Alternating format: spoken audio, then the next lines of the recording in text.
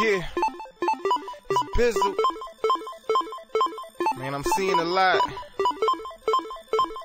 I'm trying my best to speak on it without pointing fingers. Let's go. What's up, y'all? It's your boy Ryan J, aka New Creation, the owner of M516. Empire 16 is based off Matthew 5:16, which says, "Let your light shine before men," and that's exactly what we're doing. We're trying to let our light shine before men. We're going around, we're repping Jesus on our shirts, and we're letting the world know, you know, that it's Team Jesus all day. I'm out here in San Francisco, as you can see. We're out here doing a photo shoot for one of my new shirts.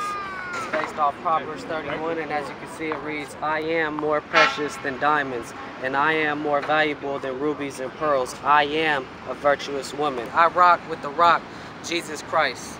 Um, you know, nowadays a lot of people are talking about, you know, they rock with this, they rock with that, and it's all these worldly titles, but you know, the only rock that I rock with is the rock Jesus Christ because that's a rock that you could build your house on. You know, it's, it's, it's stable and it's solid. 16 Clothing's mission is to educate, edify, and to empower the body of Christ and those still in need of a Savior with biblical truths and the gospel of Christ